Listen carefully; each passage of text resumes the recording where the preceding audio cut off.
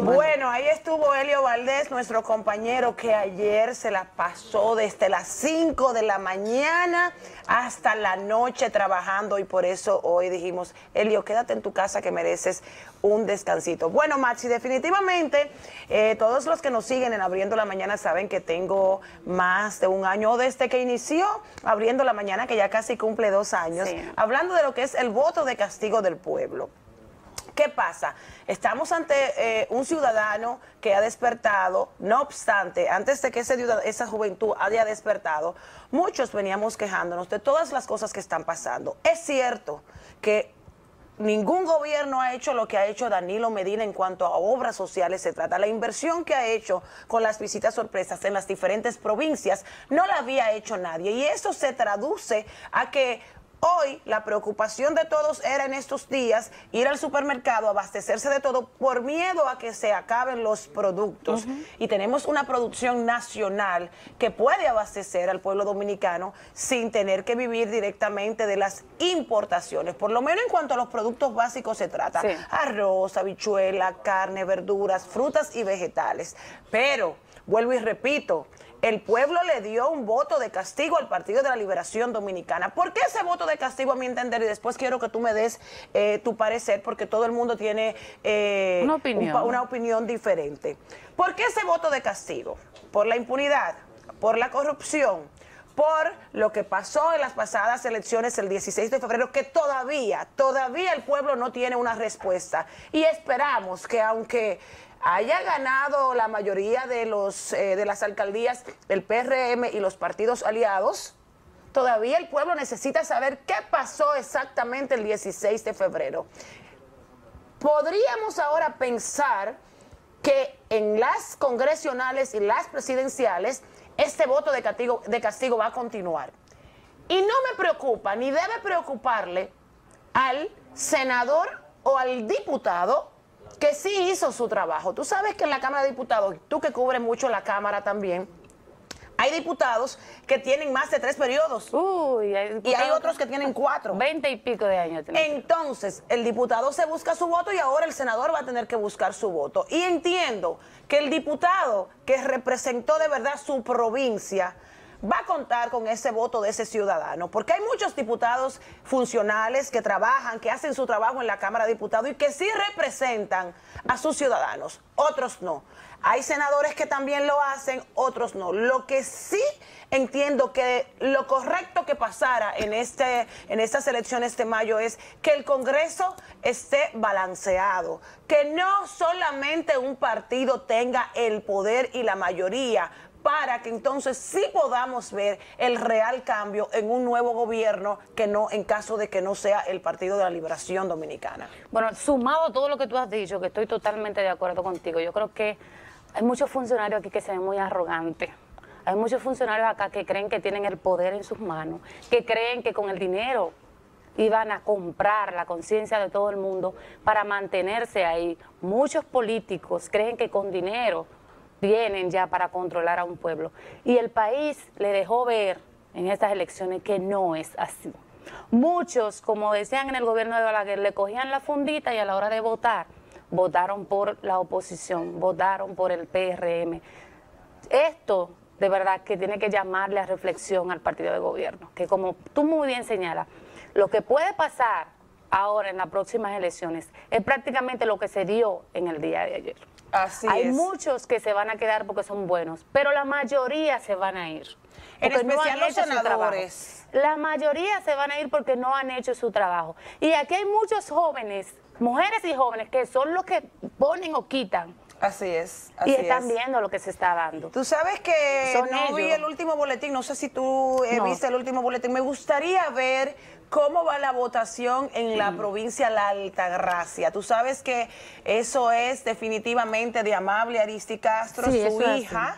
Es, la candidata a, alcaldesa y actual alcaldesa de la Altagracia. Bueno, yo te puedo eh, decir, en San Pedro de Macorís, en La Vega, en Baní, en Puerto Plata, en San Cristóbal, en San Pedro, en San Pedro ya lo mencioné. La romana siempre ha sido en todas, rojo. ¿Sigue rojo? Santo Domingo Oeste, todos eh, esos municipios el PRM lleva la delantera. Lleva la delantera. Que son municipios que marcan, son municipios que de verdad tienen una buena cantidad de votantes. Y te voy a decir algo más, no es verdad que el alcalde que estaba aspirando por el PLD y que perdió ahora va a hacer campaña.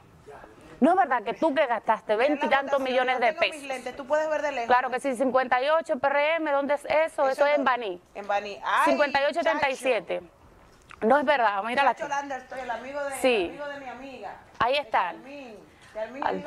Bueno, ASUA, PRM 53, 44. Eso más, ese es el panorama como iba ya actualizado en el día de anoche. En Bonao, 46, 26, PRM ganando. Eh, mira, pero bien. Mira, el Partido Reformista Social Cristiano ahí está en segundo lugar en Bonao. Eh, bueno, al país está marcando también, Alianza País, Partido Reformista igual 6.56 y estamos hablando ahí de que se habían contabilizado ya 978 mesas de 1162.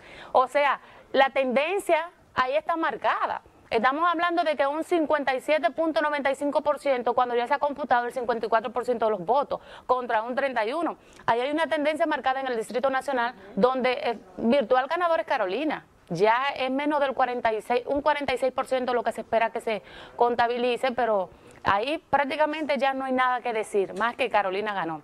57-31. Hay que esperar, por supuesto, la decisión de la Junta, que la Junta es la que tiene la última palabra y uno no se le puede adelantar. Pero los vaticinios se dieron. Se decía desde un principio, muchas de las encuestas la posicionaban a ella como la ganadora y así se mantuvo. Pero por muy pocos puntos la diferencia era Maxi. Sí, porque tú hablabas algo importante ahorita. Domingo Contreras es un hombre que de verdad está preparado. Está preparado para dirigir un ayuntamiento. Se mantuvo por mucho tiempo eh, trabajando con Roberto Salcedo en el ayuntamiento, aprendió de cómo manejar una alcaldía y de verdad tienen los conocimientos que se retienen para... Que incluso dicen que las políticas públicas buenas que implementó la hizo él, la creó él. fueron creadas por Domingo sí, realmente. Y aparte, Domingo Contreras es un, gran ser humano, e, eso unido a su experiencia y a una buena propuesta de gobierno que tiene Domingo Contreras, por eso eh, decía que es una pena que no sea Domingo Contreras el alcalde para el Distrito Nacional, porque hay que resaltar que por más eh, buena aceptación que tenga Carolina Mejía, que también me cae muy bien, no tiene el conocimiento que tiene Domingo Contreras. Le prepararon a vapor una propuesta de gobierno municipal a Carolina Mejía y ella, como una dama elocuente, preparada, inteligente que es, la supo presentar. Claro, y el apoyo que ha tenido también tanto de David como de su papá, que es una figura que pesa que pesa en el país, que pesa en el Partido Revolucionario Moderno y que eso le suma mucho. Además, ella es muy dinámica, es una señora muy dinámica. Y eso unido, unido al rumor que se escuchaba en las calles de que el Partido de la Liberación Dominicana había llamado a votar por Carolina Mejía, al igual supuestamente como se dijo en el caso de Roberto en las elecciones municipales. Eh, pasadas, cuando perdió Roberto Salcedo y ganó David Collado en solo tres meses, llama mucho la atención. No, porque pero yo me voy ese domingo y me doy cuenta que eso es verdad. Bueno. Porque es la segunda vez entonces No te digo que sea verdad, más y simplemente te estoy diciendo lo que escuchamos, porque sería fuerte. y aparte es una plaza que el PLD no debería darse el lujo de perder. Pero vamos a desearle suerte en caso de que ya al finalizar el conteo de los votos Carolina Mejía sea ya la candidata alcaldesa. La diferencia es mucha y ya normalmente, según los expertos, cuando hay un margen de tan grande, una diferencia tan grande, definitivamente no cambia. Mira Santiago. A menos que sea el voto automático. que aquí cambia. Automatizado. Pero mira Santiago, mira esto. 49.69, 38.29. Esto es importante. Sí. Porque aquí se decía que eran 80-20. Sí. Y sin embargo, mira, Mira cómo van los numeritos, está bien, Abel va a ganar, se sabe que Abel va a ganar, pero no con ese margen tan distante como se esperaba acá. Bueno, con nuestro invitado más adelante que viene a continuación hablaremos cuáles eh, eran los, las provincias o municipios en donde el PRM iba aliado a la Fuerza del Pueblo. Yo tengo entendido que sí en las congresionales van aliados, más no sé si en las municipales, pero definitivamente en Palacio hoy se estarán llorando lágrimas de sangre. El pueblo se lo advirtió, muchos eh, se lo advertimos a las personas que conocemos, particularmente yo, con las personas que tengo cercanas y que soy amiga, muchos políticos le advertía de la, de la desconfianza y de la molestia que tenía el pueblo dominicano. Vuelvo y repito, no podemos negar que el gobierno de Danilo Medina es uno de los gobiernos que más obras sociales ha hecho. Tenemos unos centros CAI para niños especiales que no los había.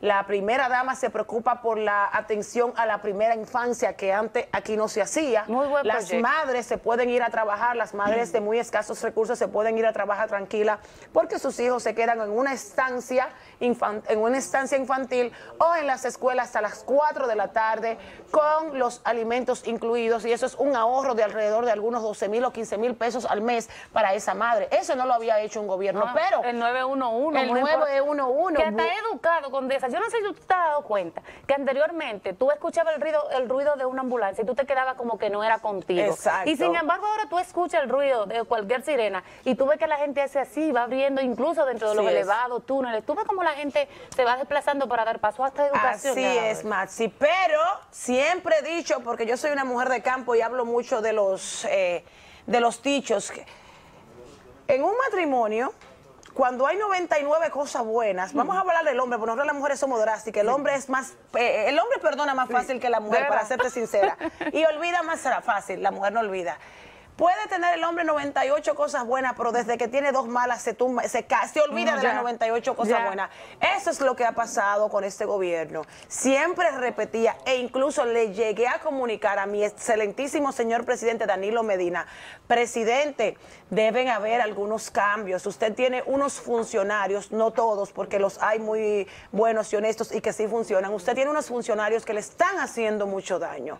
No sé en qué camino usted se perdió, porque los primeros cuatro años del presidente Danilo Medina fueron los mejores cuatro años de gobierno de toda la historia dominicana. Lo digo y lo sostengo pero lamentablemente en estos últimos tres años no sé dónde fue que se perdió, qué le pasó, o si es como yo he dicho siempre, Maxi, si es que a usted, presidente, me le están envenenando el café, que algo me le están dando, porque definitivamente la diferencia de estos tres últimos años de gobierno a los cuatro primeros años de, de su gobierno, es del cielo a la tierra. Si usted hubiese seguido esa misma línea y hubiese puesto en cintura y en su puesto a unos cuantos funcionarios que usted tiene que lo que le han hecho es daño y dañarle su gestión, hoy esto no estaría pasando. Bueno, Maxi, nos vamos a una breve pausa y el cafecito noticioso, ¿lo pasamos ya? Sí, eso es así, ya sí, lo pasamos. Tú, para, para irnos a la pausa, ha hecho muchas cosas buenas, pero las malas son muy marcadas y eso le ha hecho mucho daño. También le ha explotado los escándalos de corrupción. Y no han hecho nada. El caso de Odebrecht